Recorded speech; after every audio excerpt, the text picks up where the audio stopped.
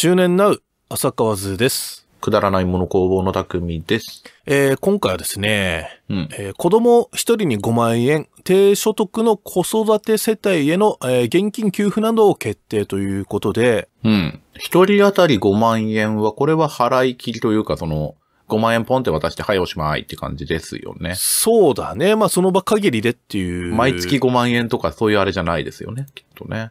で、まあそのまあ低所得っていうことなんですけど、まあ基本的に住民税非課税の子育て世帯向けっていうことで、うん。ぶっちゃけ子供いる家庭で住民税非課税って相当だぞ。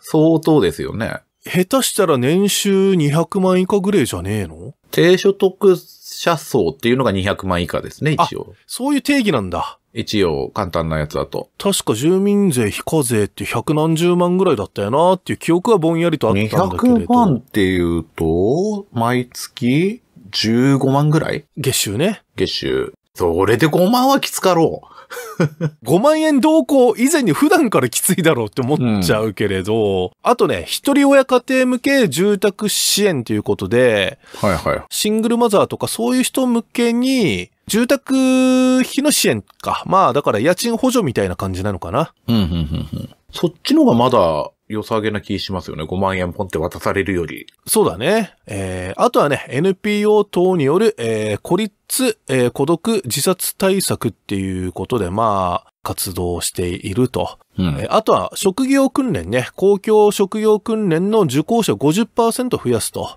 うん。まあ、失業した方も多いでしょうからね。そうなんだよね。今回、まあ、失業とか、あと転職をする人がすげえ増えたんじゃないかな。う。うん、うん。で、まあ、デジタル分野の求職者支援など倍増ということで、はい。うん、リモートワークとか注目されるようになったけれど、若い人はまだないいけど、もう40、50になって急にインターネット、IT 関係の仕事やれって言われて難しいも、ですよ。めちゃくちゃ大変だよね。俺も最近こう、新規でユニティとか触り始めましたけど、うん全然わかんないですも職業訓練の支援も今回してるっていうことなんですけれど、まあね、俺とか匠くんみたく子供いない世帯からすると、ちょっと俺ら見捨てられてんのかっていう気持ちもちょっとなくもないんだけん。ど。我々毎回見捨てられ世代になりますよね。なんでさ、前回みたく一律10万円ってことをしないんだろうね。ねえ。それだけでもだいぶ助かったんですけどね。そっちの方が絶対わかりやすいと思うんだけどな、やっぱ財務省の出しぶりになるんですかね、これはね。その、まあ、麻生さんも2回の給付金は必要ないみたいなことを言ああってて、言ってましたね炎上してたけれど、何をもって必要ないと思ってんのかなって逆に問いたいというか、ねえ。あんたら政治家はいいかもしれんけどさ、っていう話だよね。そうなんですよ。このね、まあ、総合支援資金ということで、まあ、住民税ね、非課税じゃない世帯も、まあ、お金は借りられると。うん。えー緊急小口資金ということで、まあ、市役所とか行くとね、えー利子のつかない感じで借りられるのかな。1ヶ月20万円を上限に生活費を借りることができると。うん。で、まあ、最大で108、まあ、9ヶ月合わせて180万借りれますって書いてありますけど、うんうんうんこれの返済見込みもないですもんね。そこなんだよね。だからコロナが収まって、昔と同じようにまた稼げる保証もないし、そう。だから、なんていうのかな。この貸付、まあ、ね、利子はないにせよ、貸付に関しては、ただの延命処理でしかなくて。そうなんだよね。1年後に、その倍でダメージが来るわけじゃないですか。うんうんうんうんだからもう、ここはもう、なんつうのかな、給付金にしちゃわないと、多分、1年後にコロナが収まってなかったら、大変なことになるのではなかろうかと。これだから事業をやってる人の中には、その貸付で、とりあえず事業を継続してる人もいるわけだよね。うん。で、まあ、それが、さっき、匠くんも言ってたけれど、こう、まあ、6月にね、その年金やら保険やらいろいろ払い込みが出てくるんで、その支払いができなくて、まあ、継続、事業継続を断念する人が出てくるんじゃないかと。うん。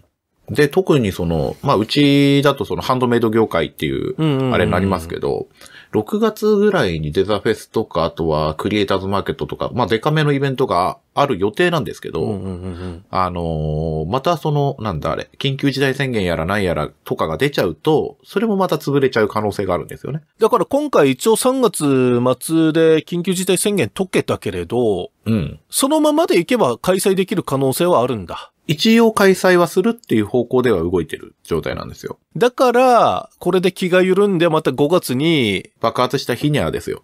仕事もできなくなると。うん。で、多分なんですけど、まあ、えっと、今回夏コミが5月にある予定だったやつが、えっと、今回は中止というか延期っていう形でやらないって決めてあるので、で、えっと、もうコミケに関しては3回、3シーズンぐらいやってないんですよね。えっ、と、去年の夏と冬と今回の夏か。夏かな。で、さらに、えっと、他の、えーコミケ以外のイベントとか、デザフェスとかも2シーズンぐらい開けたりとか、クリエイターズマーケットも3シーズン開けたりとかしてるんで、そうなるとこの母体が持たないんですよね。うん。なるほどね。でそうするとそういう大きなイベントがなくなっちゃって、で、そこで生活している、まあ、我々のようなハンドメイド作家みたいなのが、がどんどん潰れていくのが多分6月頃になるんじゃないかなと、個人的には予想しております。うーんそのまあ、イベントとちょうど支払いの月が重なると、まあ、よりきついよね。そうなんですよね。当てにしてる部分があるからね。うんうん。だ結局オリンピックの予算全部こっちに当てちゃえばいいんだけどねって毎回思うんですけどね。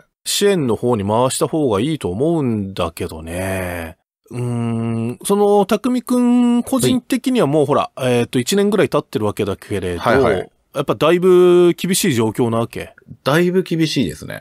だいぶ厳しいし、今あの、ちょうど確定申告のやつをいろいろと計算してるんですけど、2019年と2020年の、えー売上総額うん。はもう半分以下ですからね。って考えると、それこにまあ半分以下になったとはいえ、今給付金やら、個人事業主用のまあ給付手当やらで、それで賄ってるんで、まだ潰れはしないですけど、うん。個人事業主向けの給付金が確か去年100万ぐらいがポーンと出てるやつがあるんですけど、ああいうやつがまたないと、多分今年で限界が来ると思う。その話って今年出てんのかな？